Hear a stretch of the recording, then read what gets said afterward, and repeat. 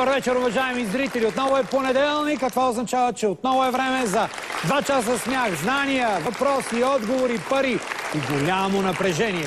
Този сезон играем благотворително и всички суми, спечелени от участниците при нас, ще бъдат дарени в помощ на деца, спортни таланти в неравностойно положение. За да покажем, че добрите дела сплотяват, като един отбор ще играят при нас хора, които са абсолютно различни във възгледите и живота си. В сезона на неочакваните двойки комбинациите ще са толкова изненадващи, колкото примерно френско сиране с бамя, анчунг с слачени обувки или пък Чък Норис и Сънчо. Лично аз мисля, че Чък Норис може да приспи много хора, но нека се придържаме към звездите на родната ни сцена. Своята игра от миналата седмица продължават лошото момче на българското кино Захари Бахаров и доброто момче на православната църква Любомир Братоев.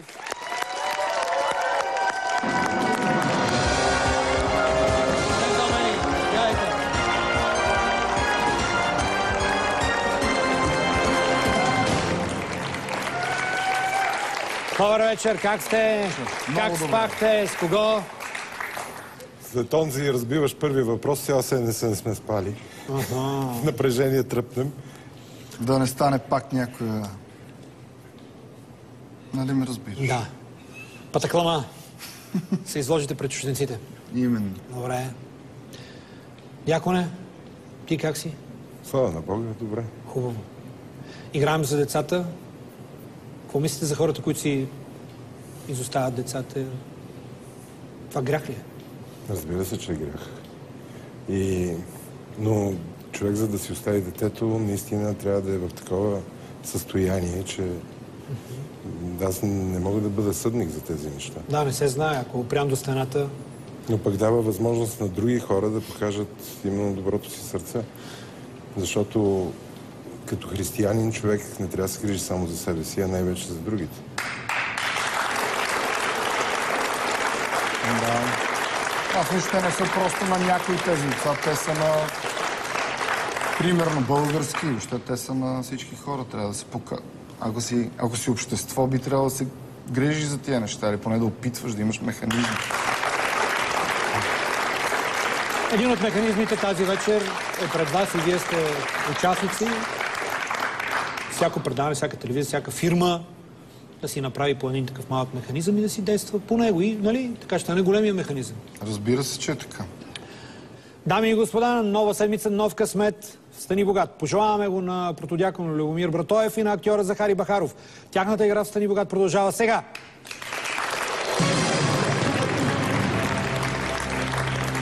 Въпрос за 2000 лева. Това бе официалната причина, която папа Бенедикт 16 даде за оттеглянето си на 28 февруари. Да казваме? отношенията Иран-Израел. И Напредналата си възраст, скандалите в църквата, заговор на кардиналите. Не, ми, по моята част. Това е абсолютно по вашата част, да. напредналата си възраст. Защото той тогава изтъкна, че на този пост като папа трябва да има не само духовните сили, а най-вече и физическите сили. Трябва да обгрижва ця, целият католически свят и вече не се усеща в такава добра кондиция. Да видим. Това е верният отговор.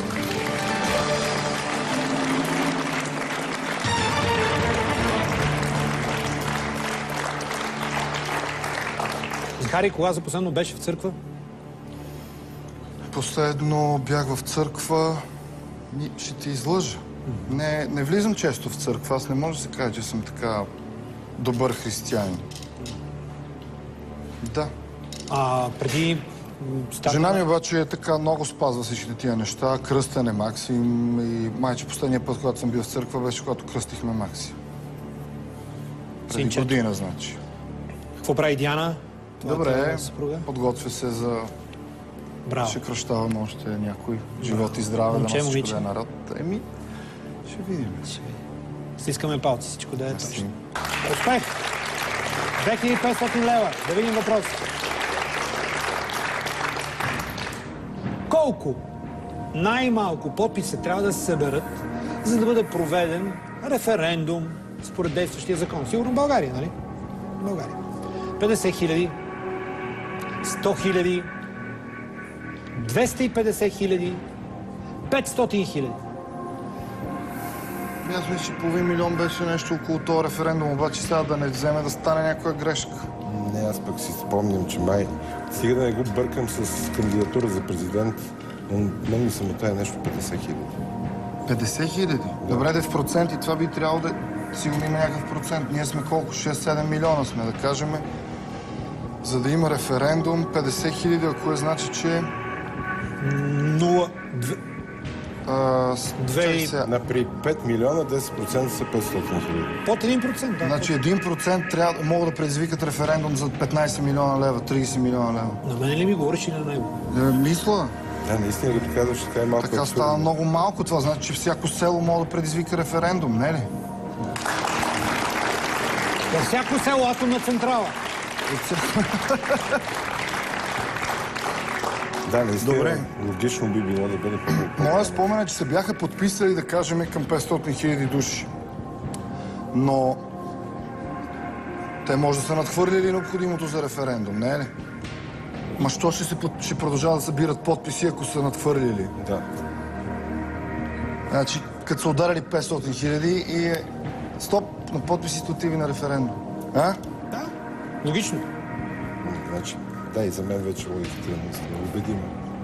500 хиляди. Добре звучи. Да не стане грешка. Играете ли с този отговор? Играем. Наистина 10% от активното население, 500 хиляди. Иначе избира на референдума активността беше. Изкараха така близо 20%. 500 Да видим.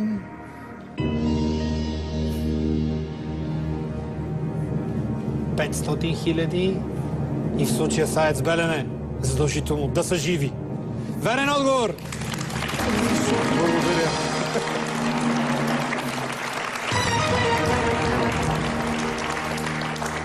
Видяхме, ме? видяхте, аз Big Brother вижда всичко. Видяхте и София да развеждаш миряни, туристи. Да. Къде? По църквите на София, екскурзовод ли работиш? Да, си възстанових една Божествен туризъм ли е това? Не, то е едното се съчетава с другото, защото дяконската служба не е само служба към Бога и към хората, но си възстанових нещо, което правих всъщност като студент едно време. И това е екскурзоводството. И имам към 30 годишен стаж в туризма. И всъщност сега от няколко години съм член на Асоциацията на екскурзоводите в България и различни туроператори ме наемат да вода както германци из България, така пък и българи. А беше ги завел в една страхотна малка църква, скрита. Да, да, да, в Света Петка беше. Там се засякохме.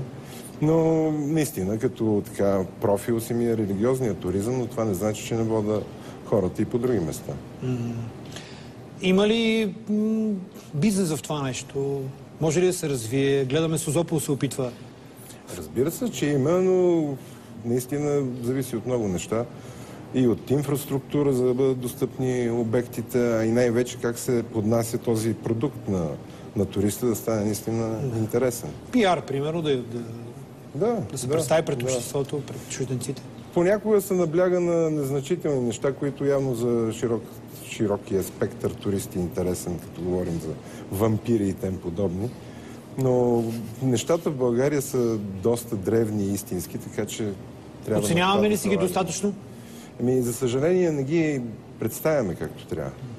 Много хора не, не знаят нито за нашата история, нито за... Значи в света е по-известна елинската култура, отколкото тракийската култура, която също е по-древната. Гърците разполагат с по-добри пиари. Ами да, Аристотел, извинявай, на Аристотел, Иония. Сократ, Платон. 5000 години. При тях е едно... Това е, това е супер силно. 5000 години. Те са от 5000 години на тия земи. Вие сте средата, средната земя. Важен въпрос 3000 лева. Да не ви панирам достатъчно. Дякона е минала от тук. Много е тясно. Три жокера. Иглени уши. Три уши. Да видим въпроса. Местността. Кой световен лидер снима реклама на световна верига пицарии през 1997 година? Маргарет Татчер, Фидел Кастро, Свободан Милошевич Михаил Горбачов. Въпрос за 3000 лева. Слободан Милошевич е престъпник, според по-голяма част от света. Фидел Кастро е под ембарго. Маргарет Тачер тогава вече може би трябва да е била с влушено здраве. Михаил Горбачов има на да кажем реклама с него, ако не се лъжа. И въобще той ми звучи като най-логично да се е в нещо такова. Значи Слободан Милошевич по това време бяха и бил заед събитията в. Сърбия и войните. Фидел Кастро едва ли ще снима за пицарии. Значи той би трябвало да е против световната Да. пица индустрия. А, Маргарет Татчер, тя беше си изградила нали, желязната лейди. Едва ли ще си... Съвсем. По, мъжа на Маргарет Татчер по-би могъл да се снима в такава световна верига пицарии. Защото още докато тя беше на власт, беше известно с това, че той едва ли не седи вкъщи и готви. Но след като и Михаил Горбачов е участвал в друга реклама, Ама аз- това може и да не си аз- спомням както трябва. И аз отивам към Михаил Горбачов.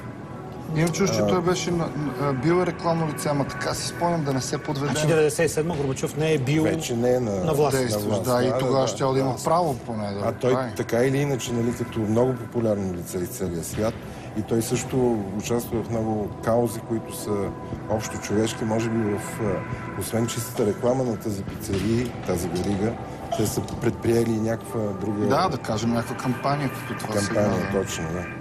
Ами аз мисля, че... Да, Ми, и аз съм убеден вече, както мисля, че отговор, че да. е. Михаил Горбачов. Ще скачаме. Без джокери. Да играем. Да, да. играем. Да видим.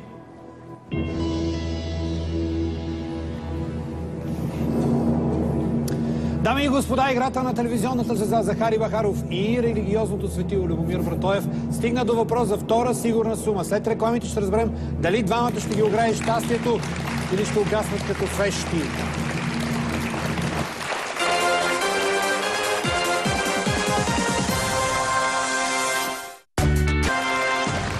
Добър вечер, уважаеми зрители. Своята игра при нас продължават Захари Бахаров и Любомир Братоев, който е ветеран от Стани Богат. Те дадоха отговор на въпроса за 3000 лева. Да видим дали ще го победят. И въпросът е, хората искат да пляскат. Кой световен лидер снима реклама на световна верига пицари през 1997 година? Татчер, Кастро, Милошевич, Горбачов. А, пицарите определено са западно творение. Дойдоха при нас леко нелегално, така да се каже, но пак като повей на, на новите неща, които се случват на западната култура, бързо хранене или там както искате го наречете, но един от символите на промяната. Случая вие давате верен отговор. Продължавате нагоре.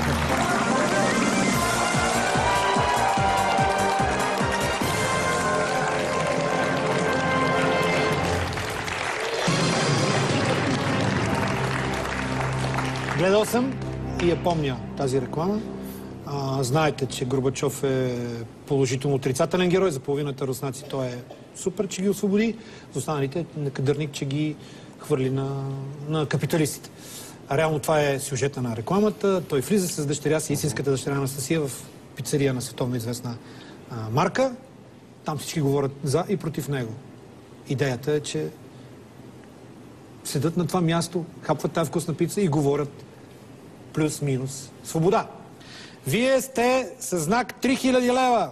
Захари и отец Братоев. Чудесен знак. Браво, момчета, браво! И добро постижение са хранени три жокера. 50 на 50 обиди се на и помощ от публиката. 5000 лева. Да видим въпрос.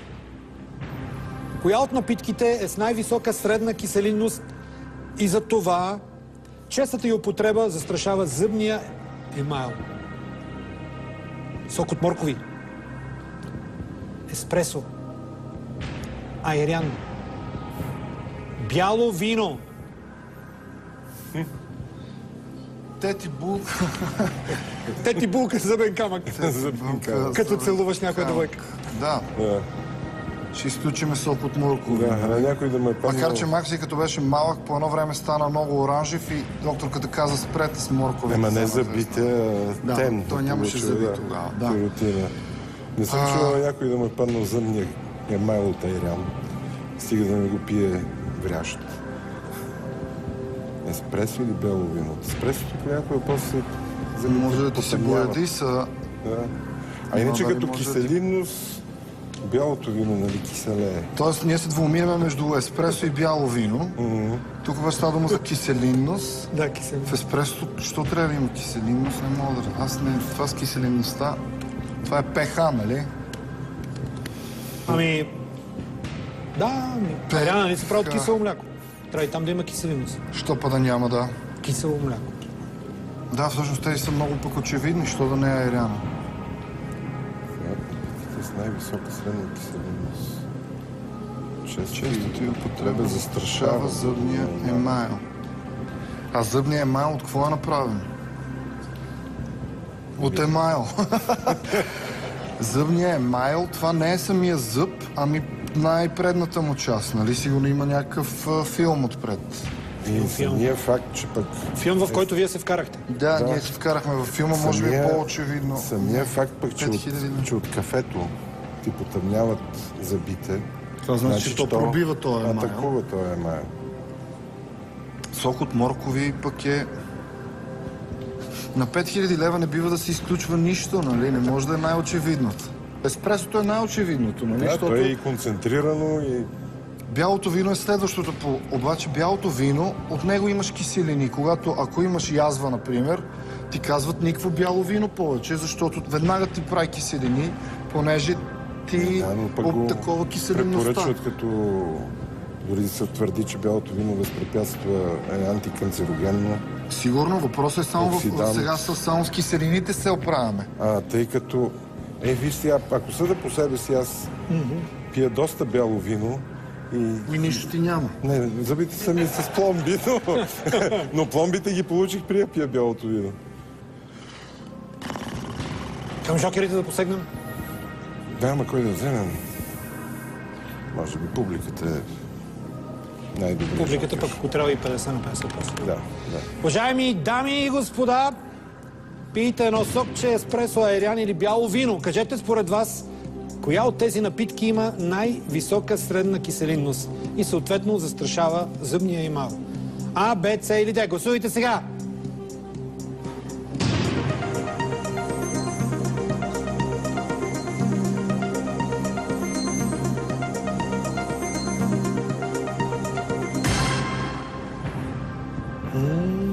Имаме отговор, който така се отличава. Няма- Бяло вино.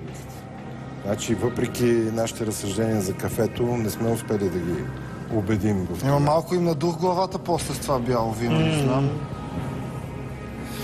Но и за аериана, виж, не, не е малко. В смисъл, аериана и кафето за тях са на равни позиции. И сам мисля, че е бялото вино. Публиката така мисли, обаче аз може да греша. Да не би да е някой от тези най... тук... Разликата, моркови, да не можеш да пиеш.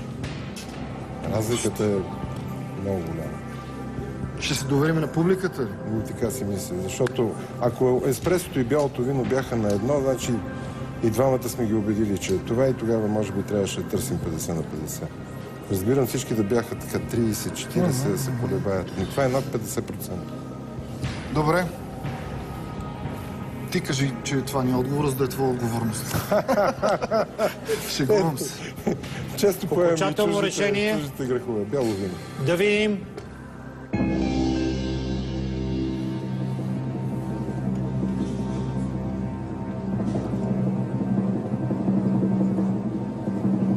Какво търсихме тук?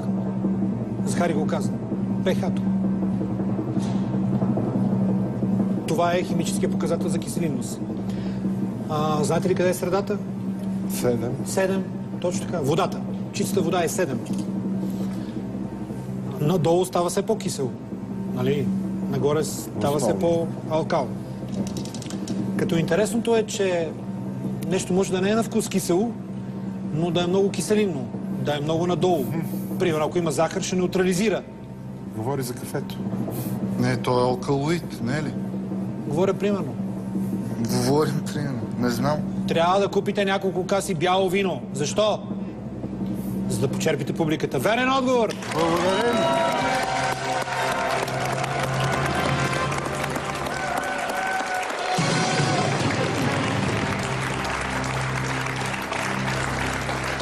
Бялото вино е с pH или киселинност 3,2, 3,3. Останалите, които бяха тук, са по-високо. Над 4. Абе си. 5000 лева за Хари и отец Братоев. 5000 лева. А скалата за киселиност е почти идентична, като скала за измерване, като принцип с скалата на Рихтер при земетресенията. Една стъпка е 10 пъти разлика. Тоест нещо с а, 3, pH 3 е 10 пъти по-киселино от нещо с pH 4. Тоест сериозни разлики. Въпрос за 10 000 лева и два жокера. Играем. Вие ще победите играта. Или тя ще ви победи. Епитафията на кой от учените гласи? Той лежи тук някъде. Нилс Бор, Никола Тесла, Вернер Хайзенберг, Макс Планк, Стига да, не знаеш. стига да не ме подвежда моята логика, но принципа на Хайзенберг е точно делта Хикс по делта Т е равно на безкрайност, който описва движението на електрона около ядрото. Ако ние знаем в кой момент електрона е... Ние не знаем точно мястото на електрона. Знаем, че електрона е в това делта Хикс. Тук Тоест, тук някъде. Ако знаем точно кога е на това място, не знаем точно пък интервал от време. Така че най- би прилягало да бъде наверно Хайзенберг. Именно заради това, че е тук някъде. Бахаров. Това Аз, ако съм на твоето място, бих оборил всичко това. Добре. Ами, Иначе всички се занимават с едно и също. с ядро. Айде, Тесла е повече нали, електричество, но и там е електричеството също се потока електрони. Нилс Бор, тежката вода, Да. Макс Планк е константа на Планк, Хайзенберг, е, той е, не че е един от учениците на Айнштайн, но той остава в Германия по времето на Хитлер. В тесни контакти е бил с Нилс Бор, но някак си ми е влязло от времето в студентството принципа на Хайзенберг. Захари, е, Захари, отеца видимо се лута. Спри го. Лута ли? Също мене пък ми изглежда всичко. Чак сега, те четиримата се занимават с едно и също, така ли? Е, Та, най- Физик на. Тесла. Физик. С И наука. този открива нещо, което се връзва идеално с той лежи тук някъде. Еми, именно, че... Тесла не каза. не може да се определи къде е електрона и затова не смисъл? може да се определи и той къде лежи. Еми, И си е направил смешка. Именно това делта Хикс по делта Т. Оттам ми идва логиката на мен. Аз на този въпрос съм много пристрастен, Защо? защото а, принципа на Хайзенберг той се използва и в философията. В смисъл, че човек, когато тръгне да говори за нещо, в един момент се спира, фаща се с някакъв факт, почва да обяснява факта, тръгва в друга посока и забравя за къде е тръгнал. Та това е принципа на неопределеността на Хайзенберг. Еми, що ме неопределеността, тук някъде е точно някъде. неопределено. Аз това ми звучи супер защитено.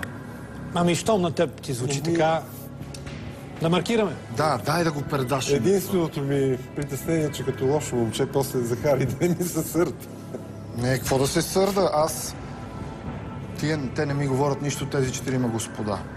Макар, че единственото име, което не съм чувал е Хайзенберг, но това, прим... това... Аз не съм никакъв фактор за този въпрос. Изглежда ми сигурен отеца, така че... Да видим.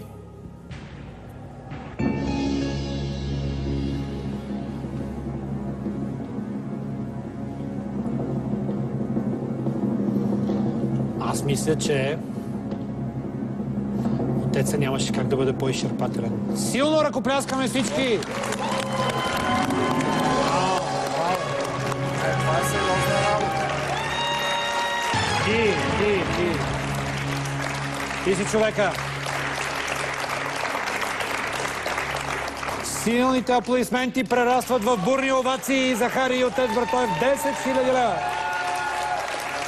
Идеално сме. И двамата, като почнем с тебе, по едно интересно място, на което сте били и на което искате да се върнете пак. При мен са да няколко чужбина, места, бе. които винаги ме дърпат в България. Аз съм ги казвал. Това е и Марикостиново, и Калякра, но Семина, разбира се. Но в чужбина това е Света гора, Светите места и Галапагос. Какво не знаем за Атон? Това ни е така духовната родина. А то най-известно е заради, особено в нашето съвремие, заради забраната Че не да се влизат жени. жени. Но всъщност е, по-малко се знае, че тази забрана, когато е, е дадена, там си има цяла легенда с една императорска дъщеря, която отива и всъщност Богоро- Богородица от един стенопис и проговаря и казва, тук други царици, освен, няма, освен мен няма. И затова е казано, че жени повече не влизат. Всъщност забраната касае не само жени, а и овчари с техните стада. Това е било с цел именно монасите да не се разсейват в техния монашески подвиг. Добре. При тебе? Ами да я знам. Аз съм бил на едно от най-интересните места, на които съм бил и така най-екзотичното, да кажем, е всъщност в Южна Корея съм ходил. И съм бил в Гангам, А, да, в този квартал на там, Сеул. там разсейваха ли те овце? Или... А, не, там има по-скоро американски войници, които се забавляват по кръчмите. Има и български ресторант. Българчите момчета едни държат ресторант в Сеул. На най-странното място на света има българи. И така в Сеул съм... Имам се най-хубави спомени от корейците, защото ми дадоха първа награда за мъжка роля, За дзифт? за дзифт и така бяха щедри. Падна ми мнението за корейците. Благодаря ти, ти, си, ти наистина си много мил тая вечер. Въпросът за 15 000 лева. Да го видим! Е! А! Ще ме дърпаш за опашката. Сега. Иво Андонов. Как е истинското име? На Чичо ти. Корейската суперзвезда Сай. Чун Би Хо. Чой Канг Хи. Парк Джи Санг. Ким Хуанг Шик.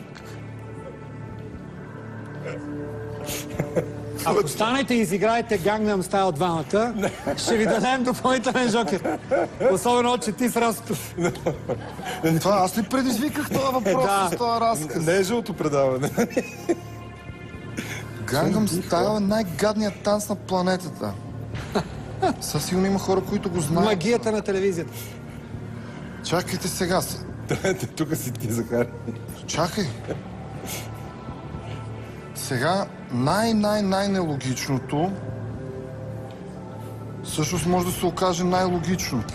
А това Защото СЕ и съкръщение за какво е? това е от Сай. Sci-fi, примерно. Така се изписва Сай. на латински. Неговото име. Обаче това Сай. може да са... То е Сай. Чакайте, чакайте, чакайте. Дай, дай, какво? Сега, най-нелогичното Да. Кое? е да е Парк Джи Санг, защото много прилича на Парк Джи Сунг, който е играч на Манчестър Юнайтед, бивш. Обаче това не е Сунг, а е Санг. И те ни го слагат, за да се подведеме, че не е играч на Манчестър Юнайтед и да го изключиме моментално. И след това П Парк, С Санг и Y е нещо G. Млъква из твоите разсъждения. А, Корейците, нали, пък те първо казват фамилията, после Не знам, значи, това е, аз, си- аз тази логика. Те за това Ти си и... бил, давай. Не, не, си. нищо, какво, какво да... Демек, демек дяконе Чън, Чой, Парк, Ким са фамилиите. Ким е фамилията? Как? Демек Ки- Кънчев Ким е- Николай, Братоев. Парк Джисун, Да. да. това му е фамилията. Както- Чун, Чой, Ким или Парк. Нали, в Северна Сай. Корея те са Ким. Ким Ир Сен, Ким Пак... Чинир. Ким Ченир. Сина. А сега, сега внука... Сега Ким... Да, това е фамилията. Ако знаех, че ще ни се А- падне нещо от Корея, имах такъв страхотен жокер, който не съм го заявил. Спокойно, имате го. Човек, който се Имате занимава го. с Имате го. корейски неща. Имате 50 на 50. Имате, убеди се на приятел, там човек с Google, ще го изпише, то ще си покаже. И освен да извикаме човека с Google. Само, че ако той не успее да го изпише толкова бързо това псай, за да му изхожи парк Джисанг, какво правим тогава? Ми, според мен са три букви. Трябва да се обайте на някой... Другия е Кедъра, който ми е жокер по принцип за спорт, но той така доста служа и заради дъщеря си съвременна музика. Той може да го знае, ама И Кедър може да го знае. Той танц е предложен за олимпийска дисциплина. На място Да, на борбата. не. Махат борбата, слагат този танц. ми освен тогава да пробваме на Кедъра. да се Стига бе, майтапа се. Ми давай тогава 50 на 50, макар че пак ще избираме От насляпо. на сляпо. Ми тогава пак на Жокер. Тоест на някой да, му кажем само две имена. Да, да, да. По-добра версия. Да, Не знам, 50 вие играете, момчета. 50 на 50. Е, да, да, да. Нека влезе компютъра в шоуто на уникалните 15 000 лева на три стъпки от големия ни връх. Сега, Еми остана Парчи Санг. Парк Джи Санг, Ма те пък иначе Ким Хуанг Шик. 70% от корейците са се Ким. Сега, и, или парк, другата половина са парк. Така ли? Да, според мен, да. Жо, и тук па има логиката. Всичките са Ким и той да се казва Сай, за да се различава от другите Ким. Ама след като па и Парк са другата половина, така че тази логика въжи и за двете. Айде, Парк Джисанг. Ти първо натам се насочи.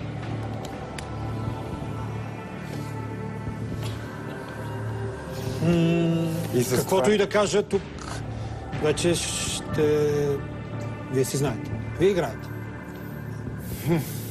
Нищо не искам да кажа, дали е верен или Не, не, е верен. най- Не, най-очевидното е, че това е футболиста на Манчестър Юнайтед. Защото Сун, Парк Джи... Аз може би го знам Парк Джи Сунг. То може би си е Парк Джи Санг човека. И ако това е футболиста на Манчестър Юнайтед, тогава очевидно е Ким Хуанг Шик.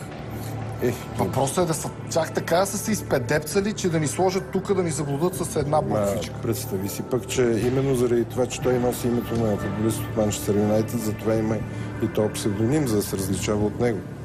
Да не го бъркат с футболист. Но той си е направил псевдонима, когато той е трябвало да стане известен в Корея, но не е предполагал, че ще... Трябва да, да не го бъркат с футболиста. Ще звъним ли на някой, ще взимате ли решение, ще играете ли, ще спирате ли? Три-четири неща трябва да свършите. Не, ние ако ще спираме по-добре, Единият вариант е да, обадим, нали? че, да търсиме подвола теле, че не е парк Джи Санг, а е парк Джи Сунг. А другото е да не мога да не знам, леле майчица. Значи при такава неопределеност, за да не рискуваме, логичното е да се откажем. Но тъй като имаме един жокер, по-добре е да го, да го използваме и да, да звъним пък. Дано... За да си спечелим още време, най-малкото. Което какво ще го прави това време, нямам никаква представа. Си говорим. А може би... Не, не, чайте, аз само... е, Не знам, що нека си... Компютъра ни направи, може би, много добра услуга, като остави един човек, който... Сме убедени, че е той. Един играч на Манчестър Юнайтед и едно непознато име. Може би е толкова просто, не е ли? Тарчи Санг. Не, не, това е тъпо с това парчи сънк. Лошото, че ние двамата нямаме консенсуса. Той първо му убеди за Парк Джисанг, сега обаче дърпа към Кин. Кин някакси очевидно, що да бягаме от някакси от питомното. Парк Джис... Парк Джис... Къде да знам как се казва този топан? Не, човека се обиди. Парк Джи Санг. Може би това просто е играча на Юнайтед, а това е нашия човек и стъпваме на 15-тица. Вие сте. Дай да се обадим на, на Кедър. Обади му се, айде. Защото пък Кедъра, той като изпортен, като му кажем Парджи Санг, И той ще ни убеди в обратното и веднага ще го подведеме и ще да се побърка. Кедър. Някой е на... Айде да му Компютър, той е звънете журналист. на Кедър. Да, да, да. Нека звънем на Камен Алипиев, Кедъра, син на легендарният ни спортен журналист Светан Алипиев. Приятели ли сте? да. Между другото, покрай стени богат се сближихме. А нашите пък бащи са с студенти в едно време юридическия. Да, Кедърче, да. от конкуренцията звъним, от нова телевизия. Слушам, Ники, как си? Здрасти. Екстра, брат, страхотно, уникална игра на Дякона и на Захари, на Ло... И аз сигурно пак ще ми провала. лошия, лошия от под прикритие. Ами, трябва да спасяваш. Жесток въпрос, жесток въпрос. Наистина, мъчат се много. Ако си на... Можеш да се добереш бързо до Google, действай, но нямаш много време. Нямам никакъв шанс. Е, значи ти си, сам, война е войн. Кой ще чете? Любо, старт! Здрасти, Кедър. Как е, истинското, как е истинското име на корейската суперзвезда Сай, Псай на латински, Парк Джи Санг или Ким Хуанг Шик? Суперзвездата Сай. Слушам те. Парк Джи Санг или Ким Хуанг Шик? Парк Джи Санг говори ли ти нещо като футболист или не? Не, не ми говори. Значи Парк Джи Санг може би или? И може би така ми звучи по-логично свързано с името му, само че ще подведа той е нещо. Да, може би това трябваше да го питате. Чува ли си за футболиста на Юнайтед? Е, да, той каза, че не му говори нищо. Ама той е специалист по баскетбол и зимни спортове най-вече. А, да не закисваме. Добре. Кефи ме Захари. Играе му се, нали? Да го аплодираме! Давай! Давай! Спирай! Давай! Искаше да рискувам. Спирай! Давай! Давай, спирай. Аз съм за Парк Джи Санг. Добре, отговор С. Парк Джи Санг. Ще играем! Пълни простоти. Да видим!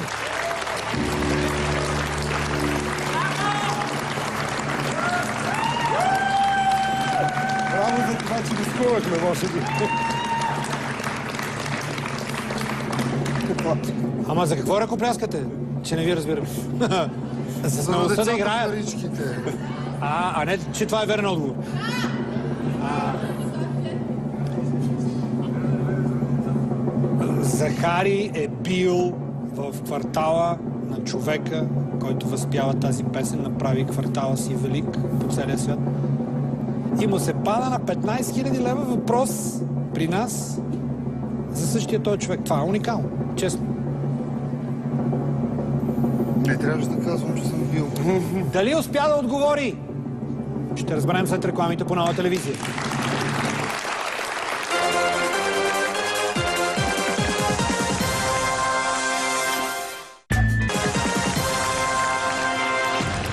Добър вечер, уважаеми зрители. Вие гледате Стани Богат. Преди рекламите нашите невероятни играчи Захари Бахаров и Любомир Братоев дадоха отговор на въпрос за 15 000 лева. Да видим дали двамата ще станат най-големите фенове на корейската суперзвезда Сай. Ако са се оказали прави за името му. А, Парк Джи Санг или Ким Хуанг Шик е истинското име на корейската суперзвезда Сай. А, няма уловки, няма скрити абревиатури. Или го знаеш, или не го знаеш. Захари, толкова ли си колеблив по принцип? Да. И повече. И повече. И как предложи на Диди тогава? Тя там беше ясно, като я видиш и става ясно. Там няма какво да се колебаеш. Парк Джи или Ким Хуанг и къде къде по-трудно за решаване. Ролите как ги подбираш? По интуиция. Слабичко. Слабичко. Като интуиция.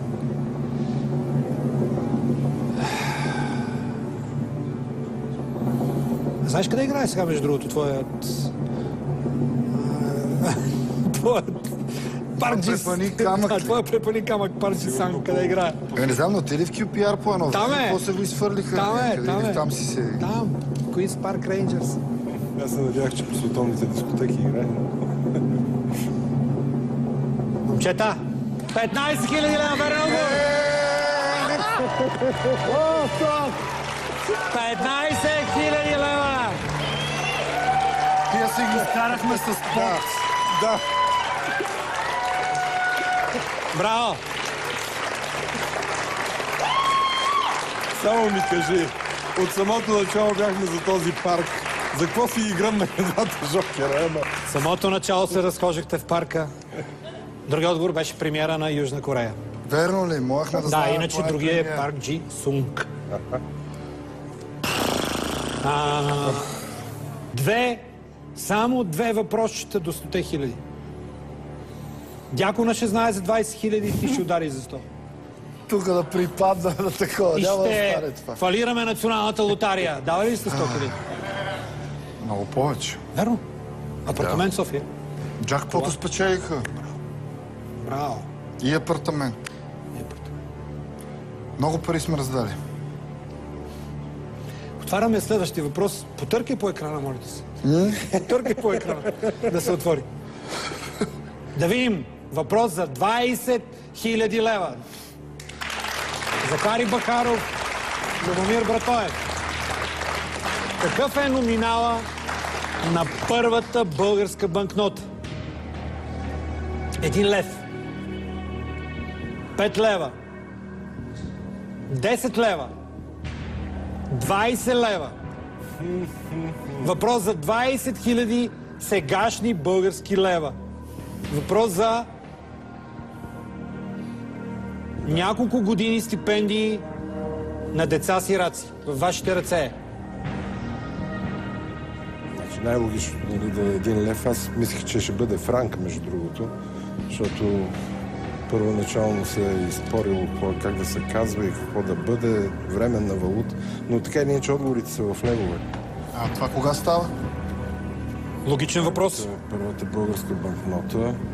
Чакай сега, преди Първата световна война ние говорим се за златни левове, но мисля, че тогава си има купюри, които именно за това се казват златни, защото наистина обезпечението си е било в злато в, в банката. И тогава, много, много преди Европейски съюз, нашата валута, или поне така се говори, е била конвертируема в цяла Европа. Ето и пътуване до Чикаго и назад, и историите на забравения Леко Константинов с Байганю, как той отива и именно с левове. С И левове, друго. И с мускалчета. Но, Добре, значи Златен лев, значи трябва да сме били вече самостоятелна държава и да сме имали банка, нали? Трябва да има българска банка. Народна, не народна. Що ще направиш различен от един лев? Нали ти е първата? А първата българска банкнота, това е просто... Те са- те са отпечатали повече от един вид банкноти. Е, разбира се, но първоначално са били монети. Звонки било. А те са били първо монети и стават първите Да, хартиени. да, да, така. Значи ние търсиме става- първата хартиена. Номиналът. Българска банкнота. Значи, логиката, Значи, би моята, моята, моята, моята логика е следната. Първоначално всичко е в монети. И логиката да се отпечата банкнота трябва да бъде, да бъде множество монети, защото е неудобно да носиш примерно 20 монети. Да. Има, Значи- да, има значи логика в трябва това. да търсим Тоест, е, има между 1 10 лев, и 2 20. лева, 5 лева и вече за едрите ти трябват... Банкноти вместо да носиш кисии, нали, да... Такова там вече... Затова има смисъл от банкнотата. Ето както Да. при нас, нали, пък махнаха банкнотата с един лев, остана само е, монетата от един лев. Ето сега, ако имахме 50 на 50, да разберем дали е 10 лева или 20 лева. Ема, що да не... Колко... Добре, дай да видим колко са били 5 лева тогава. 10 лева, това много пари ли са били? Много пари са били. Много пари са били. Съда, примерно, пък, хайде, то не е задължително в България се е случило това, но от моите спомени от Том Сойер, дето едва ли не с един долар преживява с цяла седмица. Да, значи да кажем, ако... Да. Значи първата банкнота пък тогава може да ти потрябва на 5 кинта, да кажем. Може би аз се бъркам с франковете, защото преди стотинки май се казвало сантими, ама това в случая няма, няма връзка. Но, нали, очебийната логика автоматично кажеш един лев, нали, защото почваме с един лев. Но лева явно е бил монета, другата логика е 10 или 20 лева.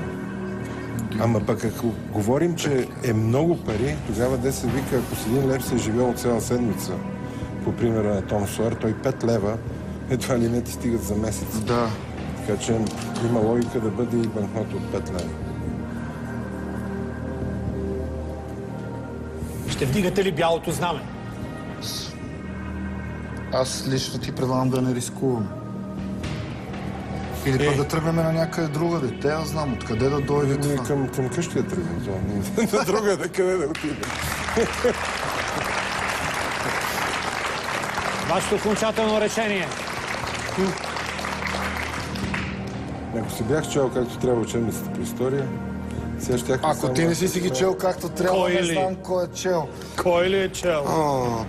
Не бъди скромен, Любо. А, и, и още ме яд, сега си спомням нещо друго. БНБ бяха направили преди две години една изложба, която трябваше да е отворена до 5 часа след обед. Аз отидох да я посета и те в 5 без 15 ми ме пуснаха, защото нямало време. Ако бях влязъл на тази изложба, Аз им се обадих. Да, да, Аз им се обадих да те спрат. да. Щях Да да, не те щях пуснат. да я видя тази да българска банкнота. въпрос. Това е единственото нечетно. Това дали... Да. Не, един, едно е нечетно. Че Не, не, един лев не може да бъде. Тук спирате. Да, спира. Мисля да спираме, че риска... Дами и господа, Любомир Братоев и Захари Бахаров спират с уникалните 15 000 лева. Браво, момчета.